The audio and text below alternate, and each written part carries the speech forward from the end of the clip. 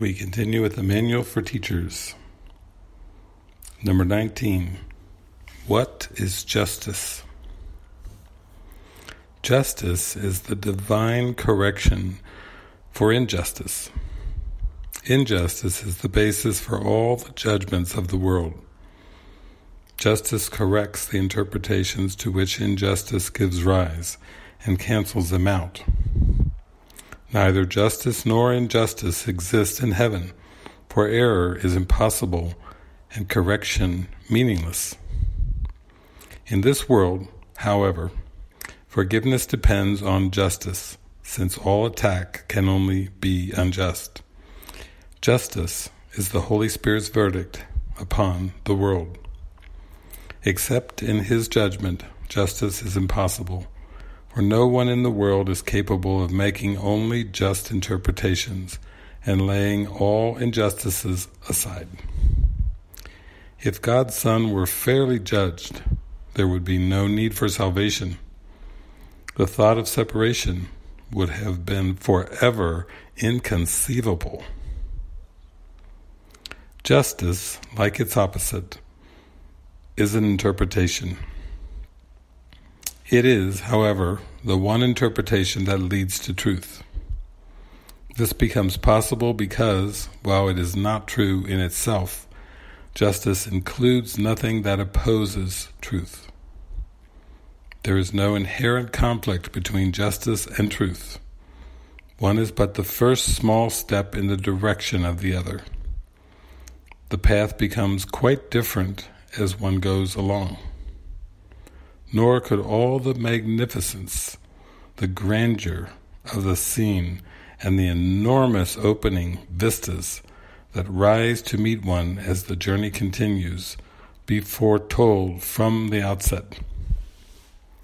Yet even these, whose splendor reaches indescribable heights as one proceeds, fall short indeed of all that wait when the pathway ceases and time ends with it. But somewhere one must start. Justice is the beginning. All concepts of your brothers and yourself, all fears of future states, and all concerns about the past stem from injustice. Here is the lens which held before the body's eyes distorts perception and brings witness of the distorted world back to the mind that made the lens and holds it very dear. Selectively and arbitrarily is every concept of the world built up in just this way. Quote, sins are perceived and justified by careful selectivity in which all thought of wholeness must be lost. Forgiveness has no place in such a scheme for not one, quote, sin, but seems forever true. Salvation is God's justice. It restores to your awareness the wholeness of the fragments you perceive as broken off and separate. And it is this that overcomes the fear of death. For separate fragments must decay and die, but wholeness is immortal. It remains forever and forever like its creator, being one with him. God's judgment is his judgment, justice. On to this, a judgment wholly lacking in condemnation, an evaluation based entirely on love. You have projected your injustice, giving God the lens of warped perception through which you look. Now it belongs to him and not to you. You are afraid of him and do not see. You hate and fear yourself as enemy. Pray for God's justice and do not confuse His mercy with your own insanity. Perception can make whatever picture the mind desires to see. Remember this. In this lies either heaven or hell, as you elect. God's justice points to heaven just because it is entirely impartial. it accepts all evidence that is brought before it, omitting nothing and assessing nothing as separate and apart from all the rest. From this one standpoint does it judge, and this alone. Here, all attack and condemnation becomes meaningless and indefensible. Perception rests, the mind is still, and light returns again. Vision is now restored. What had been lost has now been found. The peace of God descends on all the world, and we can see. And we can see.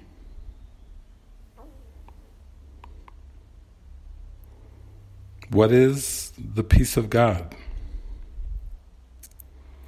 It has been said that there is a kind of peace that is not of this world. How is it recognized?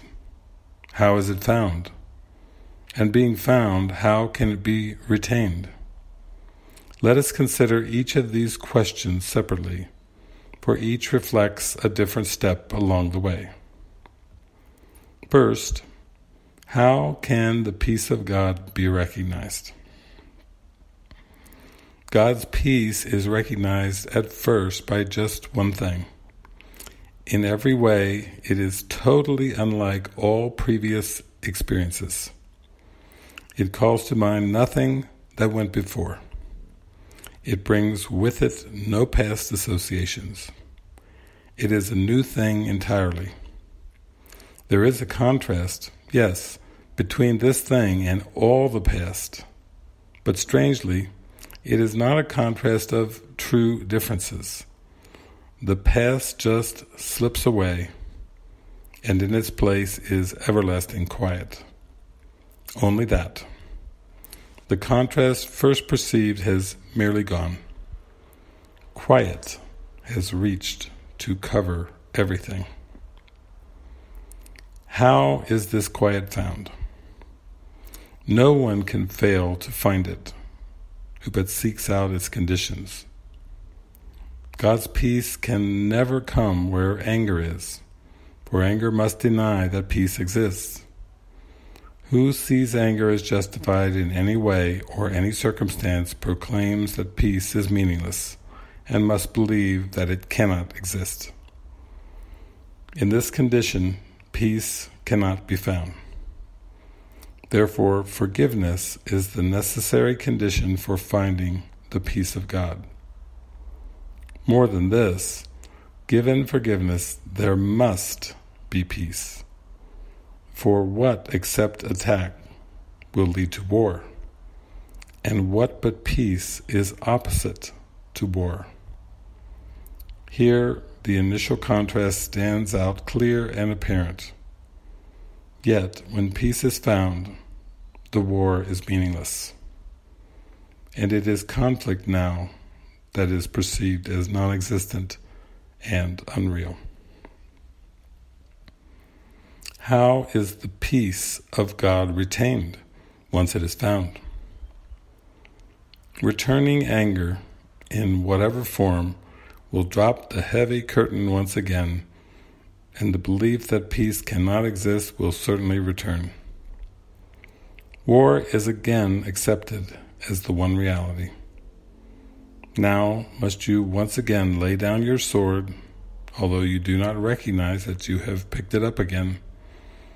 But you will learn, as you remember, even faintly now, what happiness was yours without it, that you must have taken it again as your defense. Stop for a moment now and think of this. Is conflict what you want, or is God's peace the better choice? Which gives you more? A tranquil mind is not a little gift. Would you not rather live than choose to die? Living is joy, but death can only weep. You see in death escape from what you made. But this you do not see, that you made death, and it is but illusion of an end. Death cannot be escape because it is not life in which the problem lies. Life has no opposite, for it is God. Life and death seem to be opposites because you have decided death ends life. Forgive the world, then you will understand that everything that God created cannot have an end, and nothing He did not create is real. In this one sentence is our course explained. In this one sentence is our practicing given its one direction. And in this one sentence is the Holy Spirit's whole curriculum specified exactly as it is. What is the peace of God? No more than this. The simple understanding that His will is wholly without opposite, there is no thought that contradicts His will, yet can be true. The contrast between His will and yours but seemed to be reality. In truth there was no conflict, for His will is yours. Now is the mighty will of God Himself, His gift to you. He does not seek to keep it for Himself. Why would you seek to keep your tiny, frail imaginings apart from Him? The will of God is one, and all there is. This is your heritage. The universe beyond the sun and stars, and all the thoughts of which you can conceive, belong to you. God's peace is the condition for His will attain His peace, and you remember Him.